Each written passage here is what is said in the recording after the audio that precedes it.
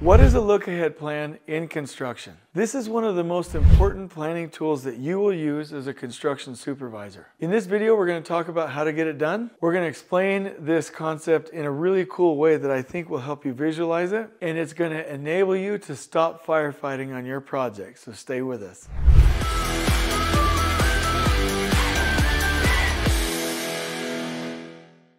All right, I love this so much. We're going to get right into this and talk about the look ahead system. You have heard in other videos that I've done how the last planner system really runs off of the master schedule, which is for the purpose of creating a duration and milestones. Then you have the pull plan, which is a way to create a sequence to those milestones collaboratively with the trades. It gets the right duration, buy-in, and sequence. The other thing is your look ahead, which is what we're going to be talking about in this video here. The look ahead is to really make work ready. Your weekly work plan, which we will link you to in the description below, which is another video on this channel. Yeah, this is specifically to make commitments. And then we have the day plan as a part of the last planner system, which really plans each and every day. And then that is tracked with percent plan complete. This happens in a meeting structure, uh, like I showed you in the weekly work planning video, where in a Monday through Friday, the master schedule is typically reviewed by the team in the team weekly tactical or your strategic planning and procurement meeting. Your pull plan and your look ahead and your weekly work plan, these happen right here in what I call the trade partner weekly tactical. Some people call it your trade meeting.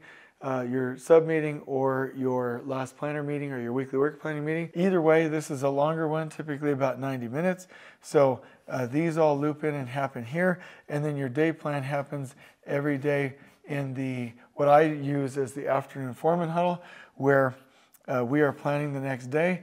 And if you follow this system, what happens is you have a nice flow from the overall to the look ahead in the weekly work plan which enables you then to plan the next day, and then it allows you to plan and execute the work and communicate that work to the workers in the morning in your morning worker huddle. So this is the meeting system that I like to use.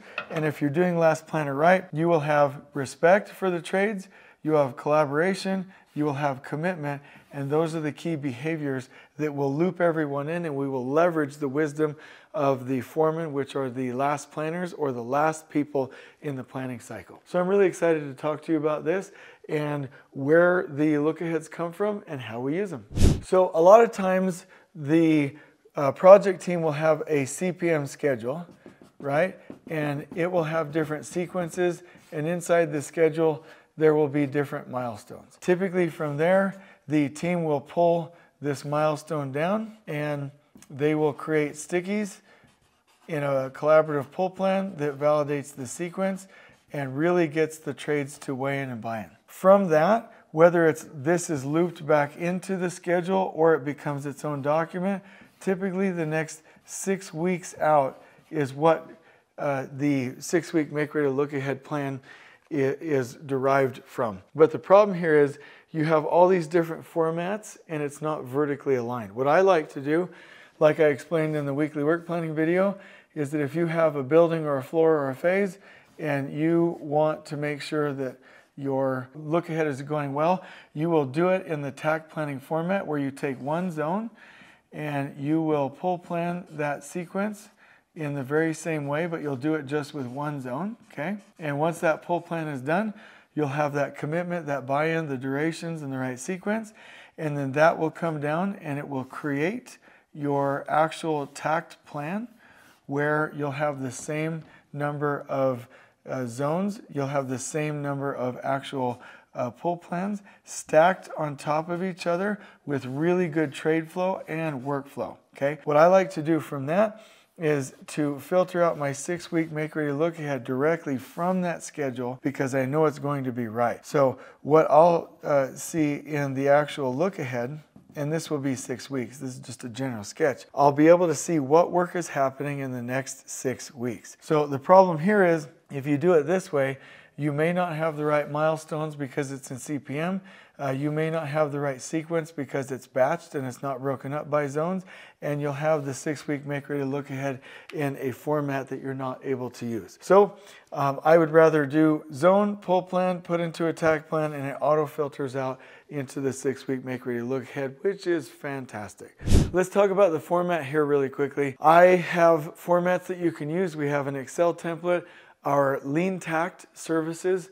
Uh, we have at least 30 people. These are qualified, educated engineers that can, with Kevin and me, format and help you with your Takt plan, help you to get used to this look ahead process, and really make sure that you have the tools you need to succeed. If you want to do that, just reach out to us in the comments below. We can help you at any time with anything you need on your project. But let me generally tell you that in your look ahead, you're going to have time on the top as usual. I like to do six weeks, so you'll have your Monday through Friday, all six weeks. I do not recommend having the weekends in there because it clutters up the format and it gives us a false sense of security thinking that we're going to use the weekends. And weekends typically don't do very much good for the project from a working standpoint. And I like to again see my location here on the left. So phases, areas, and zones. And so inside my look ahead plan, I might see uh, different activities, you know, and they will likely repeat throughout. And I'll be able to see where they show up in a time by location or again phase area and zone format. This might be a new format for people but it is ideal because if all of these are colored in the format that you're using you can see flow of the actual area itself and you can see trade flow which is the single most important type of flow in construction. The purpose of this schedule is really to get you and the foreman to see the next four to six weeks out. And I will say one thing, live more here than you do here.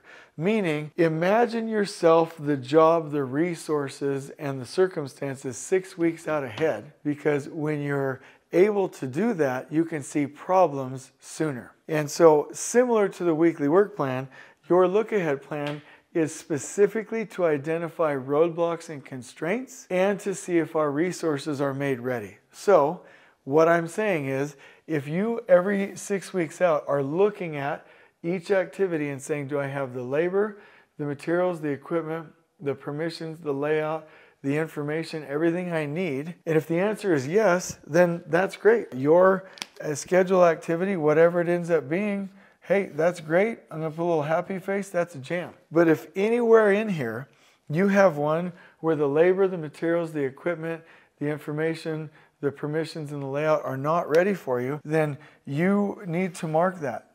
If it's something that can be fixed, it's a roadblock. If it's something that's more permanent, like, hey, I can't do that work because it's in the room that is carved out for the hoist or a leave out, mm, that's not really something that we're going to fix. We might have to work around it. So there are definitely roadblocks and constraints. Roadblocks are temporary, constraints are permanent. The key is if you know your roadblocks out ahead, you have time to fix them. And that's the key. Every time we identify a problem, we identify them discuss them, and solve them so that we can create flow. That's the single most important thing you can do to create flow on a project. And what we want is all of the trades to see this. Now, I'll give you a trick. A lot of times, contractors will print out their six week look aheads, and hopefully, you're doing it as a filter from the Takt plan. And they'll say, What roadblocks do you have? And the trade partners are like, I'm good, I don't have roadblocks. So, what you're going to have to do is get them to think about it, think about it with feeling, think about it and imagine it in a 2D environment, think about the 3D environment, think about what they would need when they get there, like really pull them in and using all their senses to see, mm, do I have what I need? The other thing you can do is to set a 10 or 15 minute timer in your meeting or your trade partner weekly tactical or your trade meeting, whatever you call it. And you can say, I want everybody to come up with at least three problems in this plan. And I want you to tell it to me. And how you identify it as a problem is that you look at each of your trade partners' activities. Do you have the people, the tools, the equipment, the resources, the information, the layout, all of those typical things. You can even give them a checklist and then say, if you don't have that market red, here's the cool story I promised. There was a German company and a Takt trainer that said that they have little cards for each day's activities that they put in these little envelopes. And on the card, it has that list. Do you have the people? Do you have the resources, the tools, the equipment, the materials, the information, the layout, right? The permissions. And if you can't check each one of those boxes, you turn the card around and guess what color the backside of the card is? It's red, you guessed it. So that when they're looking at their look ahead, and they see a red card, they know their team's focus needs to go there. And that will help you to identify roadblocks so you can solve them and clear the path. If you have an activity that is ready, it allows the trade partner to now align the delivery of the materials, the equipment, the people, and to make work ready for that committed activity. That is the main purpose of these. So here are some things that you'll always want to include as a part of your look ahead plans. First and foremost, you'll always want to have all the activities that pertain to the next six weeks. I highly encourage you have six weeks, at least four. You will want to make sure that procurement is aligned to each of these activities, even if you have to add its own activity to showcase when the delivery happens. You will always want to, as a part of this plan, know where your roadblocks and constraints are marked in red. Like we talked about in the weekly work planning video, if there's a new scope of work that's coming up, you will want to plan out ahead the quality pre-construction meetings that will allow you to prepare for that scope of work and really know what the quality expectations are. You may even want to, in this plan, write down initial inspections, meaning when that trade starts, how long will it be before you and the team go out and do an inspection on that first portion of the work? You'll want to have commitment to these. Don't shove this down the trade partner's throat, even though it has flown, it has come from a Takt plan. If these need to move around, it must be their commitment. And all trades must have their needs met so that they can actually execute. Remember, no trade stacking, no burdening, and it has to be realistic. The superintendent will make sure that the project team is filtering these and will lead the meeting in collaboration with the trades to vet this information, pull out the roadblocks, solve the problems, and make the commitments. And if you do this and do this right, you will have a look out six weeks ahead. You will be spending time in the future preparing. You will know where all your problems are and you'll be able to get rid of them ahead of time. And you'll know how to properly set expectations for activities to go properly. Your foreman will see with you, they will know with you, they will act with you. You will have buy in and you will have a higher percentage chance of actually accomplishing the tasks when you plan them.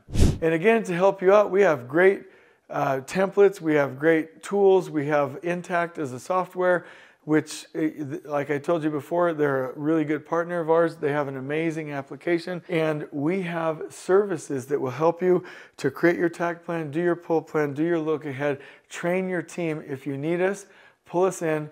We are your support team. Every professional team needs a coach, needs a support. I'll link that in the description below. I hope you do well with this. I hope you've enjoyed this video. On we go.